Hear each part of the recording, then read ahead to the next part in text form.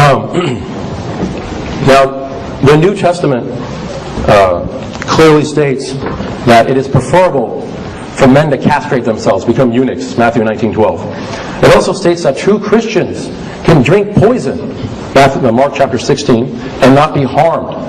Finally, it states that women must pray with their heads covered, 1 Corinthians chapter 11, and that a woman speaking in church is shameful, 1 Corinthians chapter 14.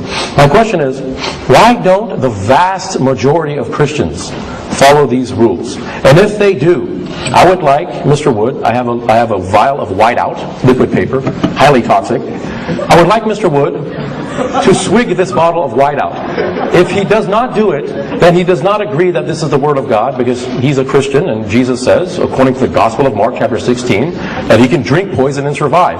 If he does not do it, then he is admitting this is not the Word of God. If he does, if he does do it and he survives, I am, I am willing to become a Christian tonight.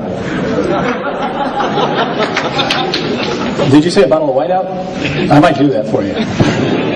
Um, what were the what? Uh, I got. I wrote down poison and women in churches. What? There was something else.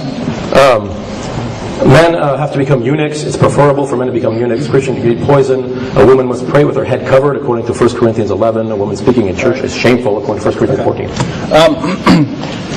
Uh, as far as the mark, that comes from uh, the end of Mark, which practically every scholar, uh, every Bible scholar in, in the world says was not authentic. Um, that this was a later addition.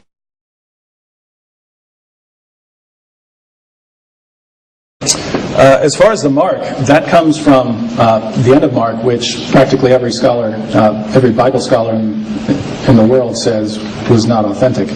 Um, that this was a later edition was not authentic. Um, that this was a later edition was not authentic.